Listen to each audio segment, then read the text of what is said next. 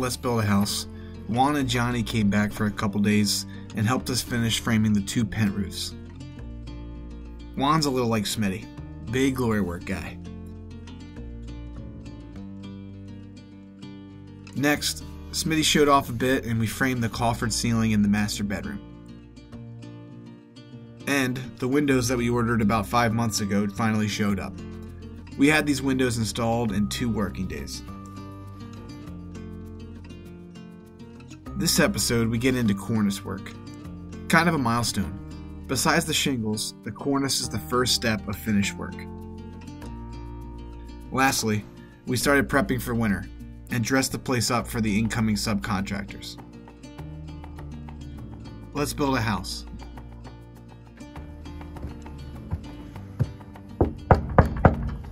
Pull the soup can. What? Pull the goddamn soup can.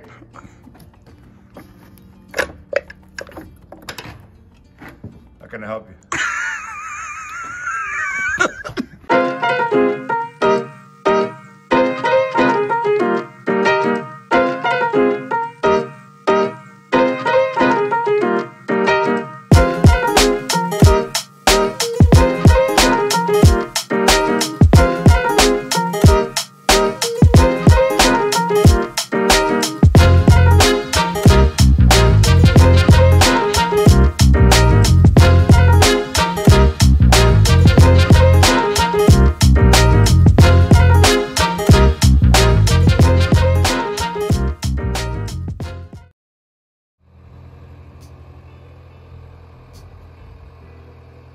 Whenever we transition to a new task, Smitty likes to work out the bugs on the most challenging portions. The cornice work on the back side of the roof will be about 35 feet in the air and on a portion of the property where we can't navigate our lift. So, Smitty decided to set his cherry picker up on the far side gable. Before the soffit and cornice, we started with the eave returns, also called a cornice return. This is a graceful way to transition to the eave and main fascia board around the gable end of a house. In layman's terms, this is an attractive way to kill the two roof lines that connect.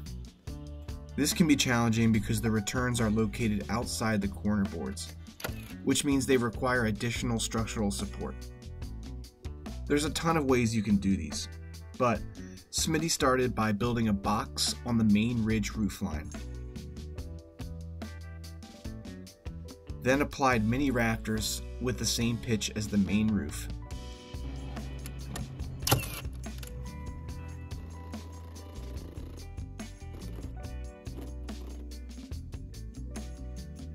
And once this was complete, he sheathed the box.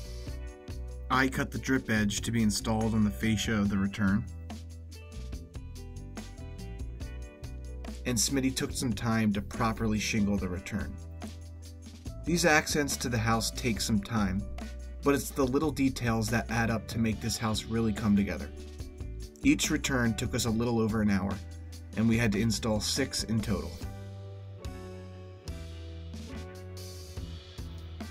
With the eave returns complete, it's time to install the vinyl soffit.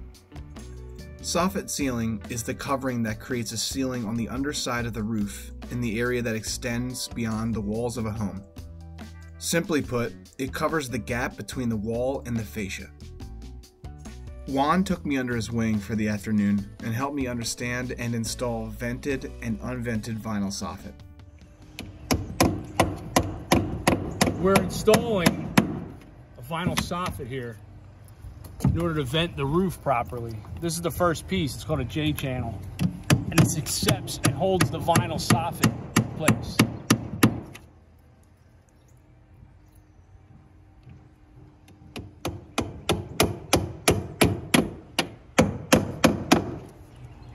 We install the vinyl soffit in order to create a vent at the bottom of the roof line. And the purpose for that is so in the wintertime when snow lays on the roof,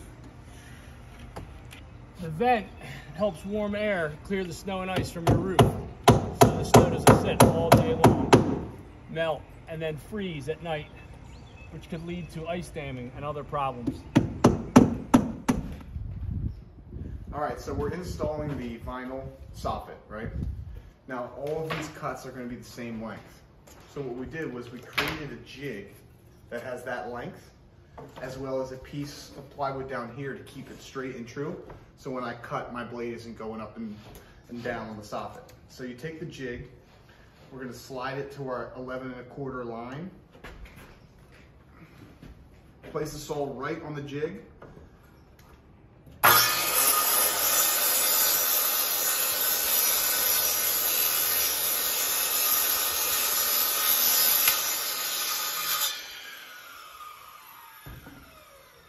And that's one. And we have a lot of these, so save some time, effort, and keeps it nice.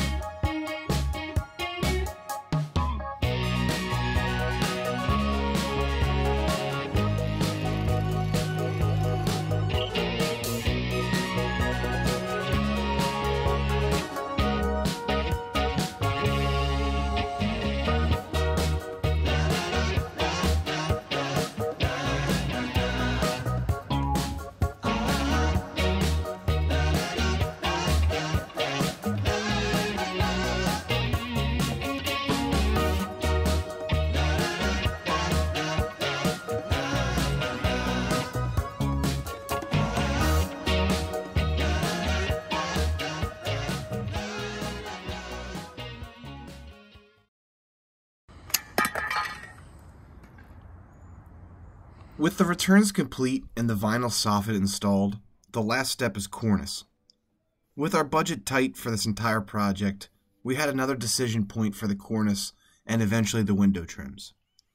There are multiple different material options for trim, like standard treated wood, PVC, potash, metal, and others, but materials like Boral and Azek can triple the price.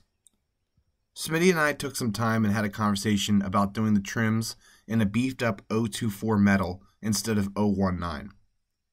Smitty believed going with the heavier gauge metal would allow us to save the money without installing metal with waves and dimples along the long stretch of fascia. In order to properly install the metal cornice, we had to bend the metal on what is called a brake. The brake is used to bend the metal to the dimension we need for our cornice. Smitty gave me some lessons on how to bend the hem and bend the overhangs properly.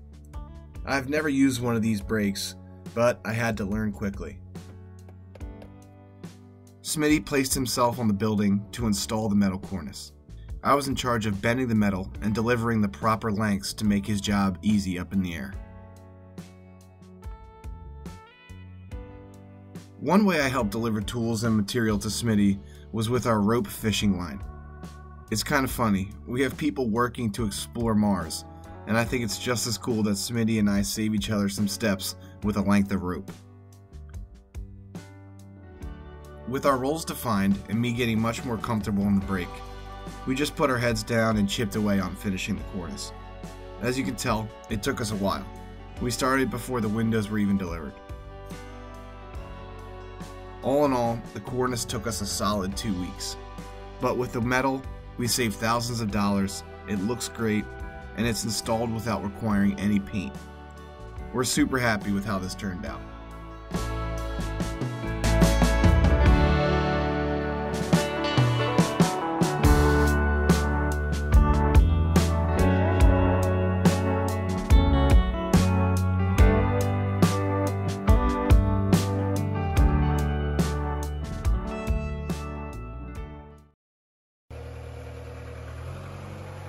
Well, it's that time of year. We have hit the late fall rainy season and winter is coming. With the house dry, we're ready to start scheduling the plumber, electrician, and HVAC subcontractors. We thought it was necessary to build a walkway so our subs weren't trekking through the mud. With leftover pallets from material we've used and some leftover planks, we built a temporary walkway to the front door. We want to take care of our subs. They provide a serious value to finishing the home, but also, people take their work more seriously when the job is clean and easy to navigate. That's just human nature. Next, we wanted to close off our major openings to see if we could retain as much heat as possible in the home going forward. In the near future, we're going to need to hold about 45 degrees in the house for drywall. Having the temperatures dive in the winter with drywall installed causes drywall to shrink, meaning you could have nail pops and other issues. We're obviously going to get some insulation and a propane heater, but Smitty and I installed a temporary front door. If you look closely, those are Raptor paper side lights. We keep it classy around here. Next, Smitty came up with a way to block the cold air coming in from the garage.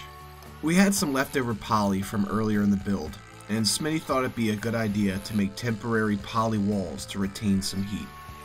So, we fastened some plates to the garage floor, measured the size of the opening, and installed two 4 foot wide poly panels on each side. These will stay fastened to the floor. Next, we built four more 4 foot panels to be used as doors. With siding being ordered and ductwork materials, we'll need to be able to get in through the garage.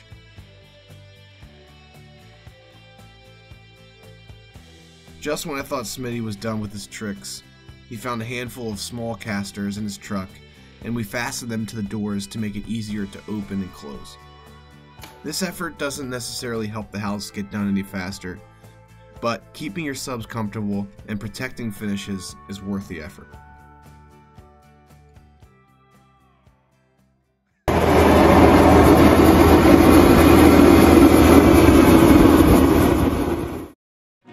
Next time on Let's Build a House.